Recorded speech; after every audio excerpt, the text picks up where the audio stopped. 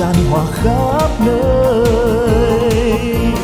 Ta yêu sao cuộc sống này hãy bên nhau cùng đắp xây hàn hoa life rộng cánh bay cho một ngày mai tươi sáng. Ngày mai tươi sáng.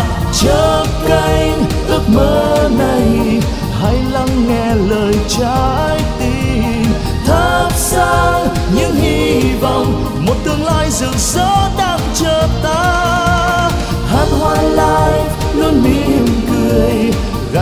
bao niềm vui.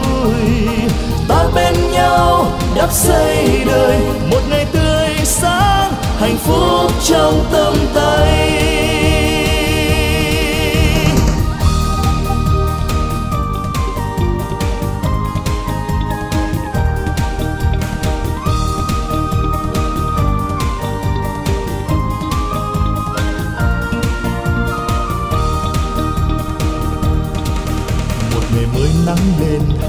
Bao ước mơ đẹp tươi. Một ngày bao hân hoan tiếng ca vui tràn hòa khắp nơi. Ta yêu sao cuộc sống này hãy bên nhau cùng đắp xây hàn hoa life rộng cánh bay cho một ngày mai tươi sáng. Ngày mai tươi sáng. Chớp cánh ước mơ trái tim. Thắp sáng những hy vọng. Thay mặt ban tổ chức chương trình, cho phép Tâm xin được gửi lời đến quý vị đại biểu, khách quý cùng toàn thể quý vị và gia đình. Lời kính chúc sức khỏe, may mắn, bình an trong cuộc sống, thành công trong công việc và kính chúc quý vị sẽ có một chương trình thật hữu ích và ý nghĩa cùng Han Hoa Lai Việt Nam ngày hôm nay. Kính thưa quý vị khách quý, với mong muốn chia sẻ rộng rãi về ý nghĩa nhân văn của bảo hiểm nhân thọ và Long mong muốn luôn đồng hành cùng người dân Việt Nam kế hoạch hoạch định tương lai và biến ước mơ trở thành hiện thực.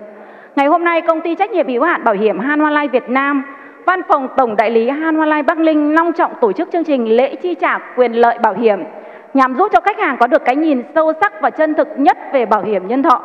Và thưa quý vị, à, đến tham dự chương trình ngày hôm nay thì Tâm xin được trân trọng giới thiệu có sự hiện diện vô cùng quý báu của ban lãnh đạo địa phương và ngay sau đây thì Tâm xin được trân trọng giới thiệu có ông Nguyễn Cao Hà, Bí thư chi bộ thôn Bằng Lục ạ. Xin trân trọng kính mời ông ạ. Ông Nguyễn Bá Tâm, trưởng thôn Bằng Lục ạ. Vâng, và cùng các ban ngành đoàn thể thôn Bằng Lục. Và thưa quý vị khách quý, về phía ban lãnh đạo công ty tôi xin được trân trọng giới thiệu có ông Ngô Văn Minh, giám đốc cấp cao khu vực miền Bắc 1 ạ. Chị Nguyễn Hoài Thu, giám đốc kinh doanh khu vực ạ.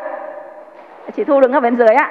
Vâng, và thưa quý vị khách quý, về phía văn phòng tổng đại lý Han Hoa Lai Bắc Ninh, Tâm xin được trân trọng giới thiệu có ông Nguyễn Giang Trấn, giám đốc văn phòng tổng đại lý. Và kính thưa quý vị khách hàng, về phía gia đình khách hàng nhận quyền lợi chi trả ngày hôm nay thì Tâm xin được trân trọng kính giới thiệu có ông Nguyễn Bá Toán là đại diện gia đình ạ.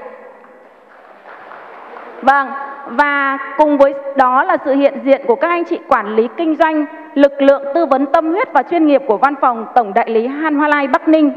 Và đặc biệt là sự hiện diện của toàn thể quý vị có mặt tại hội trường ngày hôm nay, đó chính là tất cả quý cô việc bác ngày hôm nay ạ.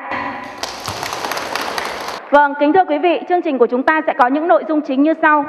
Phần thứ nhất thì Tâm xin được trân trọng giới thiệu với quý vị về lịch sử hình thành và phát triển của tập đoàn Han Hoa cũng như là công ty bảo hiểm nhân thọ Han Hoa Lai Việt Nam và thành tựu đóng góp của Hanwha Việt Nam trong gần 12 năm qua tại thị trường Việt Nam. Phần thứ hai là sẽ là đọc quyết định chi trả và lễ chi trả dành cho khách hàng.